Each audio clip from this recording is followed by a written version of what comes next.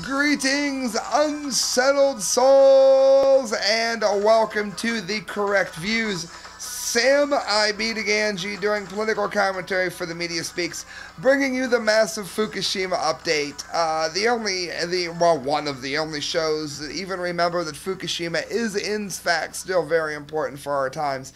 Before I get into it, uh, I was talking about diet and eating, or as seems to be the case around here, lack of eating, about how someone is always if you eat like really crappy food or if you drink soda like so this is here this is death. It's uh 151 in coke. The 151 isn't what kills you it's the coke um, we got to talking about this after a friend of mine gave me that before I went on air. As you can see, I've drank very little of it. Although, I'll tell you what, throughout all of it, I'm going to drink the whole thing down and see how I sound. Why? You might as well have some fun on Fukushima Day. And let me tell you why. I'm going to get serious before I drink this because I don't really have any good news for any of you. The, the things I'm going to report on here are actually uh, quite bad, actually. They're, they're horrible. They're things you don't want to know about. However, I do want to get into this thing that I was talking to Christelle about with diet. Reminds me, uh, people eat such horrible things. Like she's going to eat hot dogs for dinner. Like the only other thing she's had but a chicken sandwich, which came from a fast food restaurant. What happens when you do that? Any of you, and we're going to get to Fukushima, we're going to get to all the nuke news, don't zone out. Anybody from the Cleveland area ever listened to Mike Trivisonno? He had uh, we we got David Justice in the Cleveland Indians, and no matter what he did, he was always hurt. Every time you needed David Justice to step to the plate, he was hurt. And Mike Trivisonno had this loop that he had made as a joke. And he did a mock interview with uh, David Justice once, and he goes, "David, how you doing? Are you looking forward to playing the Yankees?" My knee hurts, my back hurts, my leg hurts, my elbow hurts, my chest hurts, my ribs hurt. Oh, I understand, David Justice. And uh, what do you think? Uh, do you think the Yankees are looking really formidable this year? My head hurts, my neck hurts, my ear hurts, my shoulder hurts, my foot hurts, my toe hurts, my ass. You get the point. No matter what question he asked, he played the same loop. And it reminded me, in a very large degree, of some of the things that we see today with our diet, which we're going to report on uh, with other shows. But it ties into Fukushima, too. The whole joke ties in. Because people are eating poison food every day. If you're eating something that comes from Oregon, California, Oregon to a lesser degree, California, Washington, Alaska, not much grows there. Hawaii, you are poisoning yourself. And it might be that you're not doing a Cristal and eating hot dogs and fast food as the only two things you had all day. Uh, you might not be doing what I'm about to do today, which is I had a piece of pizza and a breadstick and a half. And I'm not going to get anything else today because I've been preparing the show and doing other things. And now I'm going to drink rum and pop. First drink incoming. I'm going to drink poison. Maybe you're not doing that. Maybe you're eating all organic. And this all ties into Fukushima. Welcome to the Correct Views. We're a show like no other. Um, maybe it all ties in. Maybe you're eating organic. Maybe you're doing everything right. Well, you know what? California grows organic food. Your leg hurts, your back hurts, your ears hurt, your nose hurt. I understand, I understand. So, what are you eating every day? Well, I eat all organic. My back hurts, my elbow hurts, my shoulder hurts, my rib hurts, my stomach hurts. All right. So you eat all organic. Where's your food come from? Well, it comes from California. My eyes hurt, my balls hurt, my ankle hurts, my tendons hurt, my breath. Do you get it? Okay, I'm being silly. I'm being funny because I can be, I can be grim. I can give you the news all grim, or maybe I can make you laugh a little bit. But maybe it all ties in together. Maybe it is something that is really important, and maybe you want to pay attention, because that's my uh, that's my prologue. There you go.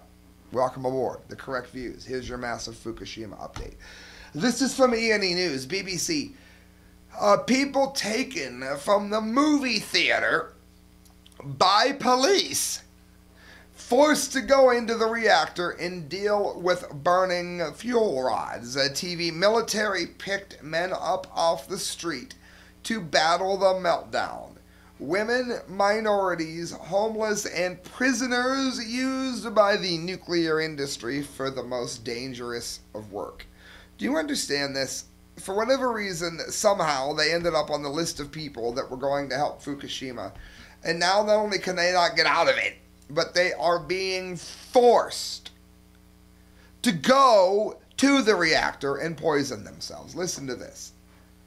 Uh, BBC Windscale, Britain's biggest biggest disaster. Look up uh, Windscale if you don't know what it is. Tom Tuohy, deputy manager at Windscale Plutonium Production Plant. we were trying to push the burning fuel back into the reactor.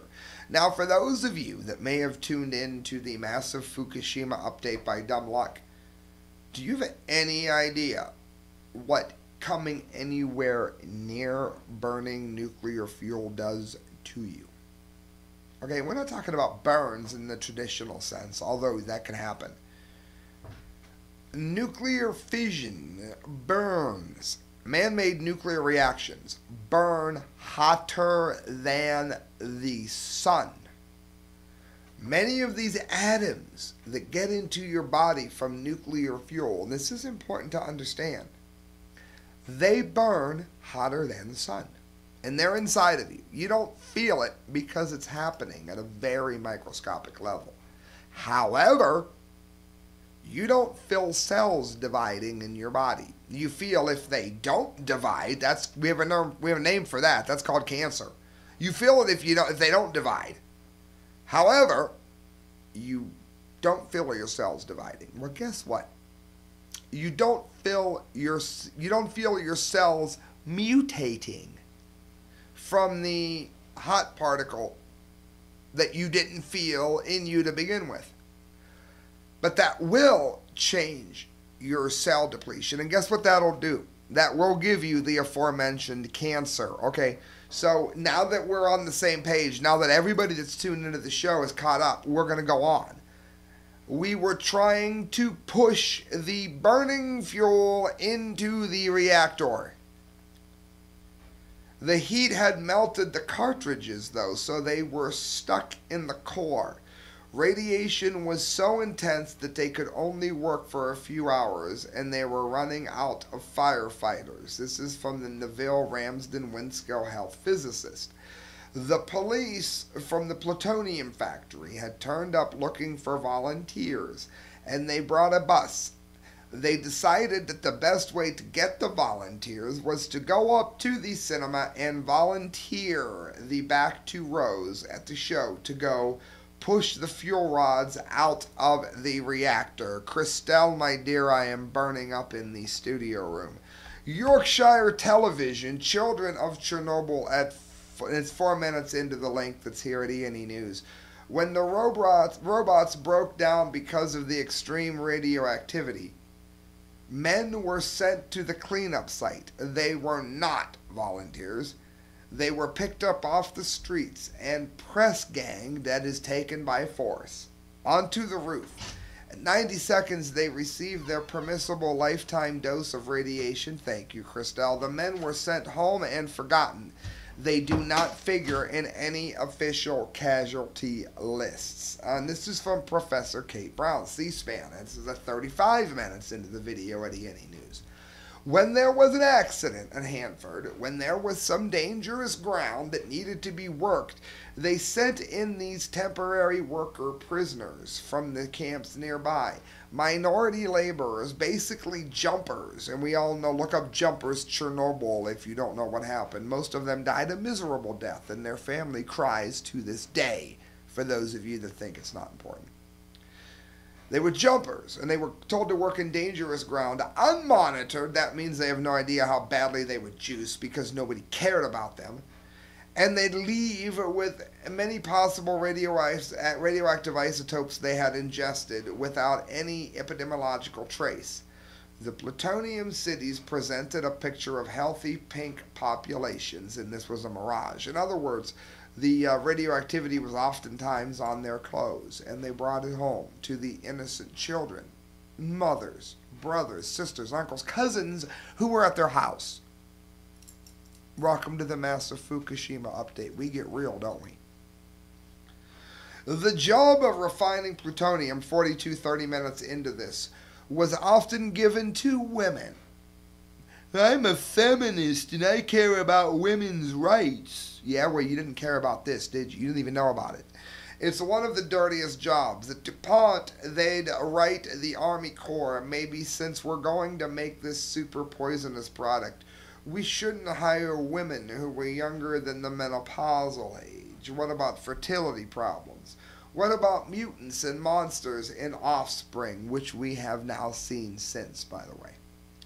They were real nervous about it. They knew a great deal and they were very worried. DC Bureau, Bureau when the enormous problem, it goes on, of high level nuclear waste became apparent, white workers ordered African Americans to deal with the deadly mess and disposal involved in dumping plutonium straight into the soil. I thought only America did that. Mr. Lindsay was recruited from his job as a segregated school principal to commute several hours from Greenwood, South Carolina, like thousands of other African American workers, and was given the most dangerous jobs in order to throw the dosimeter in a bucket before going into high risk areas. What that means is they took black people, made them get juiced made them throw away the monitor that tells them how badly they were juiced, go home and die quietly of cancer. Yeah. You're worried about the N word? You're worried about a freaking flag? Why don't you worry a little bit less about certain words? Mr. Mrs. Black Lives Matter. And why don't you care a little bit more about radionuclides being forced into the bodies of black people as they die of cancer. Because your average Kid Rock fan flying the Confederate flag doesn't have anything against you, Mr. Average Black Person. I'm Mr. Average White Person. Nice to meet you. Um, I have nothing against anyone of any race and any color at any time for any reason. What I'm saying is we're seeing all this uprising about the Confederate flag. Meanwhile, innocent black people, and I support them every bit as much as I support innocent white people, by the way, are being juiced and given diseases and illnesses of all variety from the nuclear industry. And I guarantee if you type in black African Americans nuclear, you're only going to get one link, and that's going to be to this show. Isn't it kind of strange that I'm the only one that bothers to care about this? But guess what? Because I do care about it. Why? Because I don't think black, black lives matter. I think all lives matter. That includes black lives. Because we're all part of the human freaking race, dumbass, and we're being poisoned here. Reuters. Police say Japanese gangsters rounded up homeless men to clean up Fukushima radiation. Many homeless people were put into dormitories and left with no pay at all. So, it's not a matter of your race or your color, it's a matter of the downtrodden of all societies being used for the worst evils and the worst repercussions imaginable things like cancer. You want to get the top of your head cut off and have a piece of your brain cut out, and maybe certain parts of your body won't work right anymore. Maybe you won't be able to talk right because you tried to save your life by getting rid of the cancer. Because if that doesn't sound like fun to you, guess what? I pray to God it never happens to you or me because it doesn't sound like fun to me either. And I don't care what color you are. But this is what's happening in the world. And this is why I'm asking you to share this video. Otherwise, I would happily go downstairs and drink my rum without doing it. I give huge segments of my life to this show for a reason, people. Are you even hearing the report here? Yes, I'm angry because this is happening all around us, and my country is debating whether or not gay people should get married. Anand Grover, United Nations special reporter, 15, 30 minutes into it. These Fukushima workers told me do not know we're actually living in a shanty town. Literally, we live on pavement in Tokyo. They told me that people come to take them and make them work at Fukushima. You understanding it yet, people? Or are you still somehow blissfully unaware of what's going on here? This is the Associated Press. I found this in the next one, both on ENENews, but it's actually an AP story. I think I need some of this rum I told you about. I told you I was going to have this gone by the end of the show, didn't I? We need it. Photographer. I could, it says fell, it's a typo. I could feel a buzzing in the air when in Fukushima. How do you show that in a picture? The government experts, Fukushima radiation affected telescopes used to detect space weather, thought to be related to the decay of plutonium. What does that mean? You tune into the correct views because I make the impossible lyrical acrobatics that these scientists write make sense, and I'm going to do so now. The plutonium coming out of Fukushima is so strong we know it's damaged our robots. You can find that on youtube.com slash the correct views and other episodes. The radiation is so bad that it is affecting telescopes that were used to detect radiation.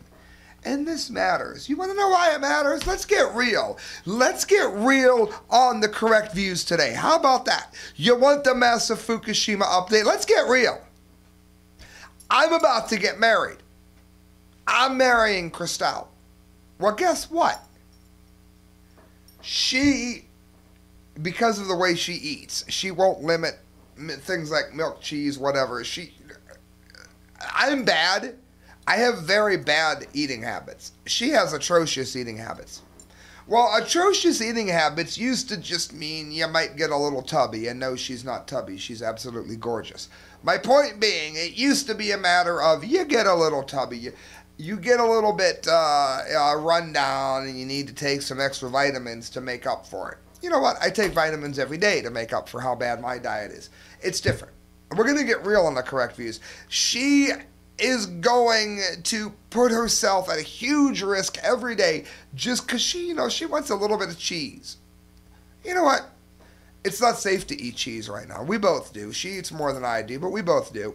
I had a piece of pizza today. It's the only thing I had all day to eat. I might be visiting my soon to be wife someday on a cancer bed. And she claims to have quit smoking. I have no reason to doubt her. She has lied to me prior. But she says she quit smoking. What if she really did? Does she deserve to get cancer from eating a piece of cheese? And I know you're going to laugh. Before you laugh at me, that's not something that I came up with. Look up Dr. Helen Caldicott. You want to get more real on the correct views? My personal view of Helen Caldicott is that politically speaking, she's a nutcase. She believes that everything has to do with some male. Inf- she thinks men think that they think they're better than women. She thinks that nuclear weaponry is tied to the male fascination with his penis. Yes, she said this. She doesn't believe in God. She believes that man is warming the planet. Okay, I think the woman is as wrong, politically speaking, as a human being can be. Helen Caldicott has never once replied to anything that I've ever put on her site. Guess what? She has never once taken down one of my shows from her site either. And let me tell you why. When I talk Fukushima, she agrees. Why? Uh, much, not all of it. A lot of it comes from Arnie Gundersen. A lot of it comes from Michio Kaku. A lot of it comes from uh, Arnie Gundersen, um, Lauren Moret, uh, Alex Jones. My hero is Chris Busby. A lot of it comes from Helen Caldicott. And guess what? I've done the research. When Helen Caldicott says it and it's nuclear, it is right. You want to get real? She's going to say, I'm a long haired freak with tattoos, that I'm a libertarian and I'm part of the problem in the world, if she even spoke about me at all. She'd say that she doesn't like my political views on global warming, and she would say that I am right on things nuclear. My point being that this brings everything together from here at 420 in the morning, many walks of life. People that do not agree on anything can look at these simple facts that are given here and see. Just see.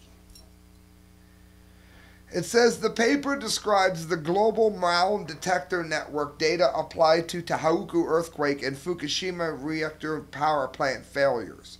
And it shows, shows on here, figure 2 shows hints about 1% cosmic ray anisotropy during the earthquake. In other words, the plutonium count is so high that it is disrupting telescopes used to measure it. You can find it here again news.com. Photographer could feel buzzing in his ear.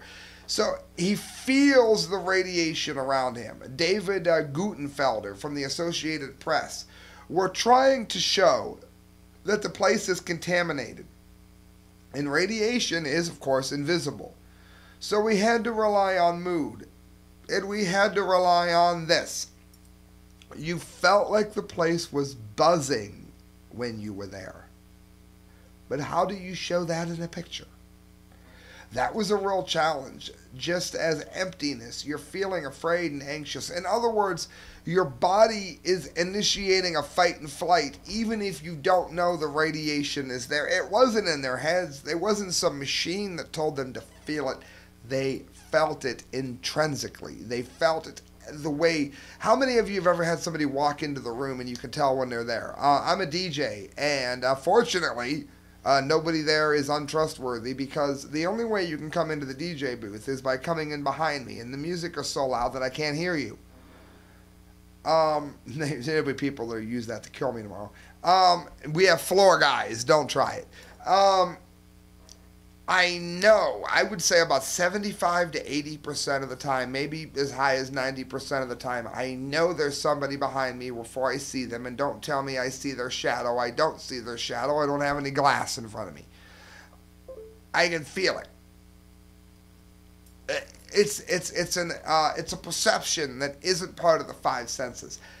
People that are in Fukushima are reporting the same kind of thing. For me to put it in words, that's why you tune in. Um, I got lots of stories to get to. This one, story is brought to you by Mike McLaughlin. I've been uh, L A U G H I N McLaughlin, not Lynn. I've been saying it wrong for like a year. Mike McLaughlin, uh, writing some of the best fiction and uh, political commentary today. Look him up on Facebook, Mike McLaughlin. Tell him you heard about him from me. Officials, much of the Pacific Ocean is threatened by Fukushima releases, an area covering one third of the globe. U.S. states in region, understandably concerned for safety, urgent need to assess impact on food and water. One of my fa- one of my favorite things that Alex Jones does, and people, I got accused today on an Infowars uh, comment line someone said, Why don't you kiss Alex Jones's boot? That's ridiculous. I have said that I support the man. I support Alex Jones greatly. I do. And I will continue to do so. Now, if Christella was, up here, she would tell you. If I think that he's wrong, I'll say that he's wrong. Um, when I interviewed Judge Jim Gray, there was something that he was in favor of, and I told him on the phone while interviewing him that I didn't agree, and I supported his right to say it. I'm not kissing anybody's boot here. That ain't gonna happen.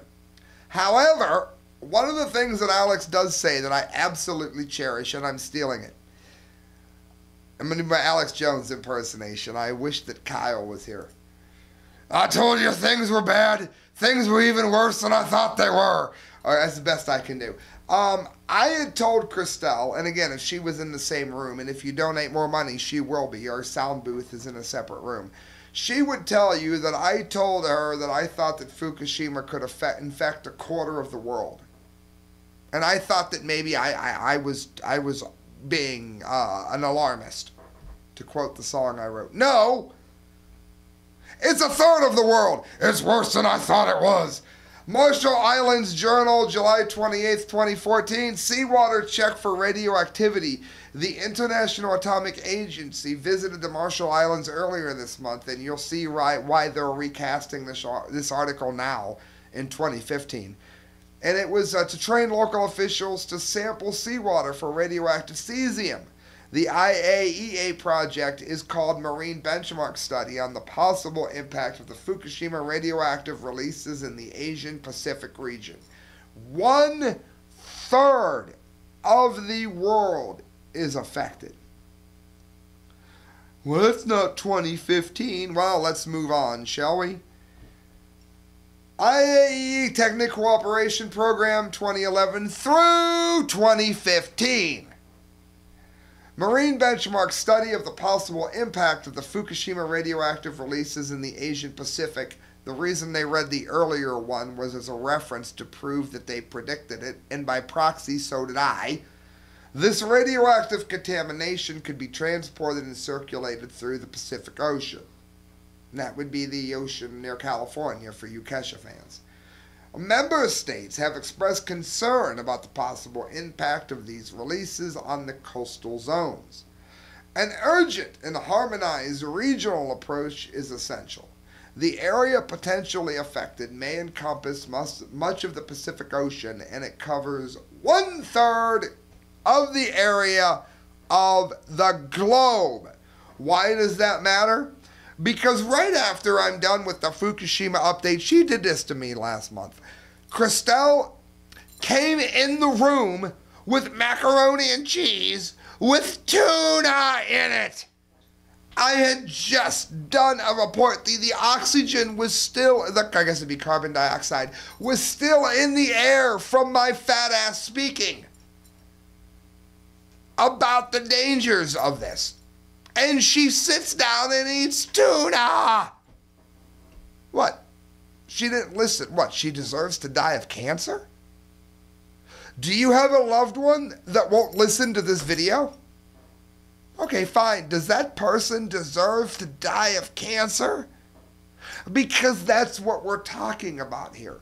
One third of the world one in three of the entire population.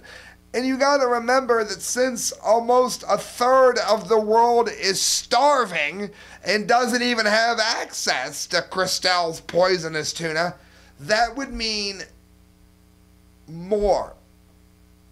Because you can factor out one third of the world. Unfortunately, a third of the world is starving to death. So if Fukushima is infecting one third of the world, and a third of the world has no access to even infected food, do you realize how many people are infected and affected by Fukushima?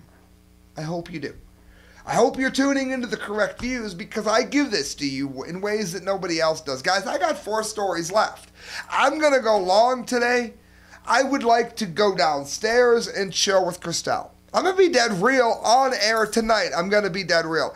I wasn't even in the mood to do a show tonight. I wanted to enjoy my rum. I had friends over after we got off the show. I was ready to chill. But I'm not. Why? Because there's going to be people eating poisonous food that don't know that the food is poison. There are facts out there that I'm going to give them if I die in this chair to freaking do it. And Christelle will agree. I told her when I starting when I started this show that I was going to start it teeth out. I'm not putting my hair back to look like some pretty boy. I'm not going to hide my tattoo. I'm going to give you facts and I'm going to put down the sources of where they are. And I want you to show this to other people. And if you hate my videos, good. Take my facts, take my sources, and make better videos. You have my invitation to do so. Make sure you leave a dislike and a comment on the way out just to add, add it. I don't care. I just want the information out there. That's all I want. Sputnik, higher radioactivity detected at Fukushima amid forest fires. Data July 2nd. Friends, Many of you don't know. Many, many of you are too young to know. Uh, I'm 42. Christelle is like almost 27. We're, we have like a 15 year age gap. She didn't know any of this when I met her. I pick on her for what she eats now. For those of you that don't know why I'm talking about Christelle, she's in charge of the lights and the camera. I went to college, learned it, taught it to her. She did amazing. She's part of the show, so I could talk about it. Kind of like Rush talks about Snerdley. Um, she didn't know about this. I mean, what? She's born in what? 86. No, Chernobyl happened in 86 she was barely a glimmer in the eye of her uh, parents, if you will. She didn't know about it. Maybe you don't know about it. So let's talk about it for a second. In 1986, besides the shuttle disaster, 86 was a really bad year. Um, Chernobyl melted down. C H E R N O B Y L, for those of you that don't know. You can look it up in case you're doubting me because I, you know, I have long hair and tattoos. Um, it created the at the time worst nuclear disaster ever. And now i sound like an airline documentary. How many of you it's the worst disaster in us history. And then you watch another airline investigation and they say the same thing. How many of you like those shows? Let me know in the comment line. The worst disaster at the time in terms of nuclear power plants, not bomb testing, would have been Chernobyl. Many people say that it was Chernobyl that led to the end of the Soviet Union. It wasn't uh, Gorbachev and uh, Reagan, although Reagan had a lot to do with it, as did Gorbachev. But it was the stigma, because again, Russia built these things it was the stigma of Chernobyl happening after Mayvac. Of course, they hid Mayvac. If you don't know what Mayvac is, you have permission to shut my show off. Don't listen to anything else. Go listen to what happened in Mayak, uh, in Russia. After Mayvac and after Chernobyl, nobody trusted anything nuclear that was Russia. And it's interesting to note, maybe it happened by chance. I'm not going to say. But many parts that were affected by Chernobyl uh, were dropped by Russia. They're the Ukraine today. And uh, the deformities.